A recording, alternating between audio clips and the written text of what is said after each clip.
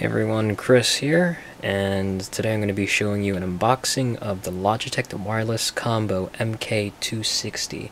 Now this has the keyboard and the mouse, and I bought this at Newegg for uh, $27.99, and its original price is $29.99. So let's do a quick unboxing.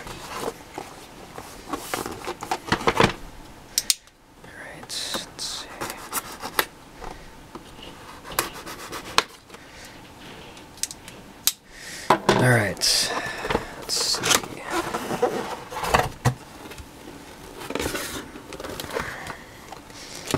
There we have it. K60 keyboard. Let's put this out of the way.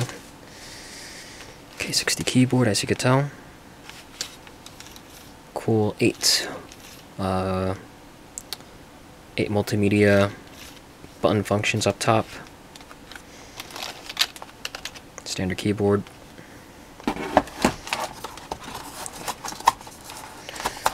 Here's the mouse.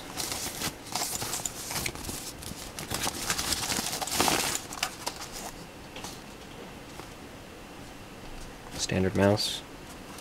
Optical.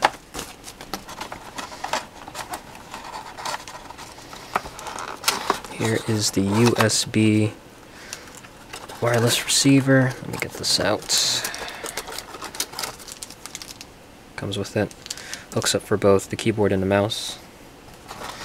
And nicely, batteries.